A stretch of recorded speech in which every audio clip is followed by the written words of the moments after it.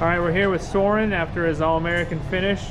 Uh, Soren, you just barely got to Minnesota here recently. Why don't you tell us a little bit about that, what it's like? Yeah, two months ago we just moved in from Colorado because of a lack of training opportunities. It was actually um, Gavin Nelson's father who helped us get all the way into here, get moved in, helped us tour the place. He got us into Inver Grove Heights, and almost immediately, as soon as I was touring, I also got into Pinnacle and got to experience this incredibly awesome club. Fantastic. So it's great, great to have you here. Uh, what are your thoughts on your first experience at uh, Fargo?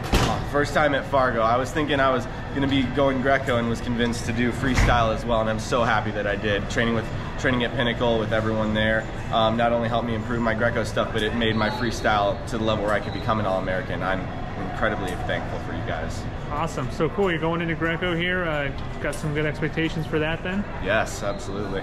Fantastic. Well, great job. and We look forward to seeing you here in a day. Thank you.